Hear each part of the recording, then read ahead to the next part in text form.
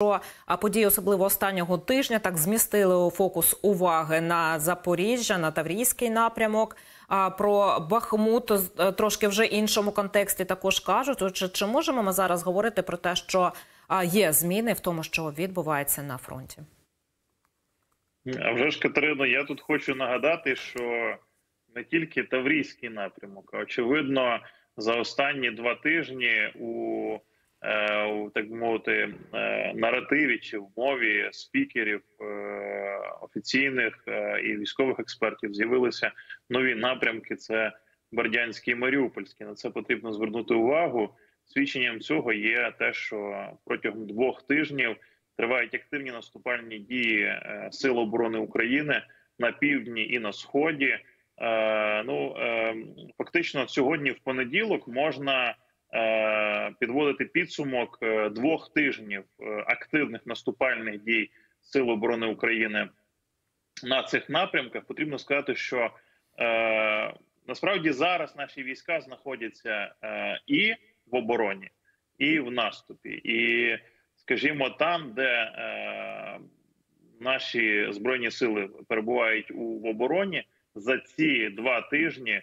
Е, російські окупанти теж ведуть активні наступальні дії, але безуспішно жодного сантиметра, жодного метра української землі за ці два тижні російським окупантам не вдалося захопити. Відповідно, збройним збройні сили України, там де вони перебувають в обороні, не втратили е, жодного клаптику землі. Зокрема, ось. Протягом, е, е, наприклад, минулого тижня ворог е, та й сьогодні ворог проводить активні наступальні дії на Лиманському, Куп'янському, Авдіївському і Мар'їнському напрямках. Там тривають потужні кровопролитні бої. Але ще раз повторюся, наші хлопці і дівчата жодного метра української землі не здали. І фактично, от щодня відбуваються активні бойові зіткнення. Здається, за останню добу відбулося 40 одне бойове зіткнення. Е, російські окупанти відчувають наступальний потенціал е, збройних сил України. Особливо е, вони готувалися дуже активно до того, що наступ буде на півдні. Зовсім не очікували наступальних дій з боку Сил оборони України на сході. Тому фактично можемо фіксувати, що минулого тижня відбувалися та й зараз відбуваються активні перекидання з південного напрямку на схід е, окремих підрозділів е, окупаційних збройних сил Російської Федерації. Зокрема, минулого тижня Генеральний штаб повідомляв е, про перекидання десантно-штурмової підрозділу збройних сил Російської Федерації з півдня на схід, тому що дійсно на сході російські окупанти відчули для себе загрозу. Якщо раніше повідомлялося про е, Бахмутський напрямок в контексті оборонних дій. То зараз, зокрема, на Бахмутському напрямку і в районі Вугледара відбуваються активні наступальні дії минулого тижня. Фактично е, були потужні успіхи у підрозділів збройних сил України е, в районі Вугледара, в районі Бахмута. Там вдалося. Нашим підрозділам захопити певні рубежі закріпитися на них. Зокрема, біля Вугледара Росії е, збройні сили України витіснили російських окупантів з їхніх позицій, і закріпилися на їхніх позиціях. Е, що стосується е, півдня, там теж тривають активні наступальні дії. Зокрема, за ці два тижні активних наступальних дій збройні сили України звільнили вже вісім населених пунктів. Е, зокрема, минулого тижня активно повідомлялися назви семи населених пунктів: це Новодарівка, Левадне, Сторожеве, Макарівка, Благодатне, Лобкове і Нескучне. І також е, ось буквально сьогодні е, заступник міністра оборони Ганна Маляр теж повідомила ще одну приємну новину. Підрозділи збройних сил України, зокрема, 128-ма окрема гірсько-штурмова бригада, звільнила п'ятихатки. Це Запорізька область. Е, можливо, е, знаєте, деяким е, там громадянам, які стежать за війною з дивана, хотілося б, щоб це відбувалося набагато швидше, але хочу вам сказати, що наступальні дії надзвичайно важкі і кровопролитні бої. І наші підрозділи можливо комусь може здатися, що повільно, але впевнено з величезною роботою, з величезними силами вибивають російських окупантів з нашої землі, і насправді звільнення п'ятихаток це е, ще одне свідчення е, того героїзму і тої важкої роботи, які е, роблять наші хлопці і дівчата е, на передовій. Е, також е, в цілому підрозділи на Таврійському напрямку просунулись глибину до 7 кілометрів. Е, і наразі можемо свідчити, що е, за ці два тижні звільнено е, близько ну понад 100, Я думаю, що близько там 114-120 е, кілометрів квадратних е, української території е, вже звільнено від російських окупантів внаслідок. Точніше, от я зараз зараз бачу інформацію. Точніше, 113 квадратних кілометрів. Про це повідомляла сьогодні заступник міністра оборони Ганна Малєр. 113 кілометрів квадратних е, протягом цих двох тижнів, протягом наступальних активних наступальних дій, звільнено від е, російських окупантів. А так, це дійсно такі дуже дуже. Приємні новини, які коли наш прапор повертається на своє законне місце, але ну, ми бачимо, що дійсно це дуже великою ціною. Це все дається. Адже як би там не було, але я так розумію, що ворог все ж таки встиг підготуватися для того, щоб вчинити опір нашим. Е, Катерино, е, однозначно, що російські окупанти е, теж вчаться на своїх помилках. Так у них е, був досвід е, фактично.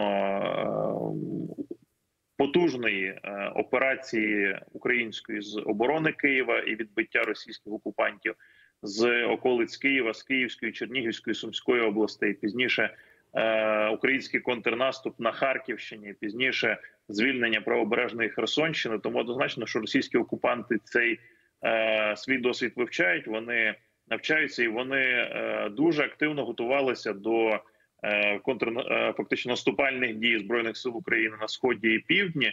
Е, тому, зокрема, підрив Каховської ГЕС це була спроба російських окупантів зупинити початок українського контрнаступу. Е, вкотре російські окупанти, ну знаєте, вже не раз таке було е, в історії е, цієї Російської імперії, Російської Федерації, коли вони намагалися підривати гідроелектростанції. Ще раз нагадаю, що це військовий злочин, за який російські окупанти однозначно будуть відповідати, тому що гідроелектростанції це е, фактично об'єкти критичної інфраструктури, цивільної, не військової.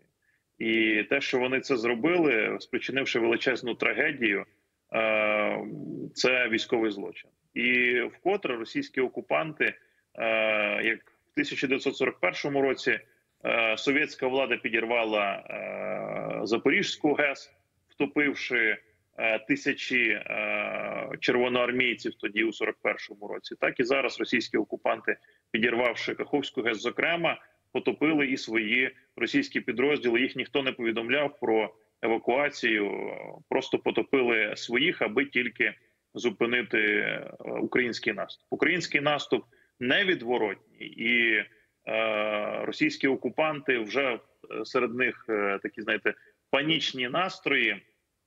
Зокрема, минулого тижня ми повідомляли про те, що е, російська компанія Газпром окупаційна в Криму вже розробила алгоритм і почала е, евакуацію своїх співробітників е, з півострова на територію Російської Федерації. Так само зараз, зокрема, на запорізькому напрямку, точніше, російські окупанти у нас населеному пункті Покровське проводять хаотичне мінування е, помешкань, хаотичне мінування доріг, е, тому що відчувають, що збройні сили України просуваються, що їм потрібно тікати, відступати. Е, наша розвідка відслідковує усі ці злочинні дії російських окупантів. В той самий час російські окупанти зазнають дуже суттєвих, дуже чималих втрат. Е, під час наступальних дій збройних сил України. Зокрема, можемо свідчити про те, що на е, території на тимчасово окупованих територіях е, України переповнені усі ось ці так звані шпиталі, які організовували російські окупанти протягом понад як року. У школах, у лікарнях цивільних, в дитячих садочках вони зараз переповнені, тому російські окупанти почали облаштовувати зокрема, ось такі польові шпиталі, і на території Російської Федерації, зокрема в Білгородській області. Минулого тижня ми повідомляли, що е, в одному з містечок Білгородської області, де свого часу була створена профільна противірусна лікарня для лікування COVID-19, е, російські окупанти вже облаштували військовий шпиталь, і у ньому вже перебувають е, понад 500 поранених російських окупантів, які привезені туди з району Токмака. Тому е, на південному напрямку на Запоріжжі е, тривають активні наступальні дії. Свідченням цього є ось величезна кількість е, поранених російських окупантів, які вже прибувають навіть до лікарень, те, що на окупованих територіях, а й до лікарень на території Російської Федерації. Ну так, знайшли знову ж таки, де його а, зробити. І, ну, в Білгородщині це, мабуть, найкраще місце, куди вони можуть своїх Катерино. Це, це це свідчення зокрема і того, що COVID-19, мабуть, в Російській Федерації закінчився, коли їм противірусна лікарня вже не потрібна, і потрібно переобладнувати на е, польовий шпиталь. Е, однозначно, що цих е, вбитих і поранених російських окупантів буде ще більше, тому що можу свідчити, що е, активні наступальні дії е, збройних сил України продовжуються і на східному, і на південному напрямку.